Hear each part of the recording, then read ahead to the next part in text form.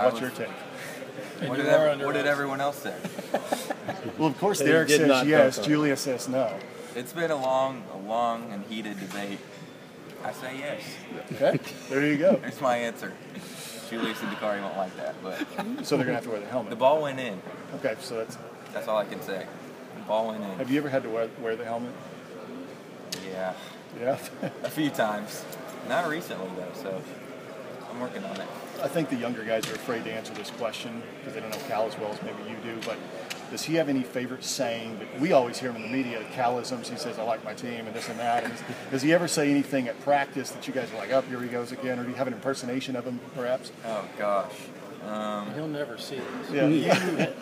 you guys, pretty much every all the Cal sayings that you guys hear, he just told us in practice that day. like I'll. I'll look at the news or something later and be like, hey, he just gave us that speech. So yeah, that's good. you guys know as much as we do.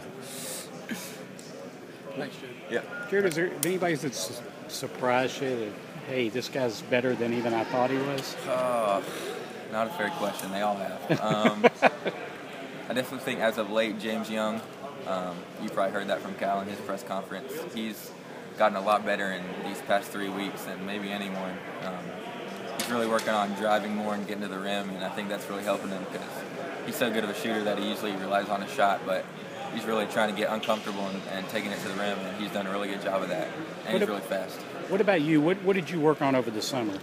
Um, I mean, honestly, everything. Just trying to get my shot better. I think my shot's better than it ever has been. Um, and just getting stronger and being able to compete with compete with the new guys. And um, I feel like my body's at a point where it can compete with with the people in practice. So I think that's definitely the biggest thing for me.